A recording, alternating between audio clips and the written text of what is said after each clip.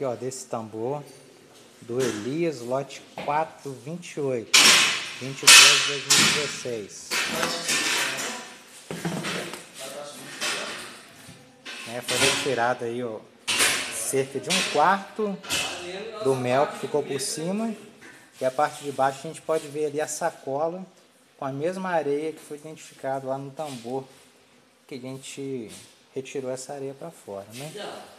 Então você pode ver aqui, ó, mais um outro lote aqui, mais um outro tambor, tá com a mesma situação, a gente pode ver até a sacola ali, ó, é por baixo a areia. Esse também é do Elias, é o tambor 17, o lote 5.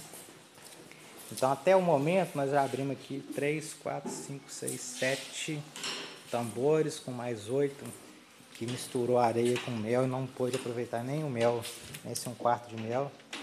Então a gente pode ver aqui, ó, é uma substância totalmente diferente do, do mel, ó, arenosa, sem água, né? Olha aqui, ó. Isso aqui eu vou analisar no microscópio, eu como farmacêutico vou te falar que tipo de cristal que é. Então esses aqui são todos os outros tambores que estão né, no processo de análise para verificar quantos vieram adulterados.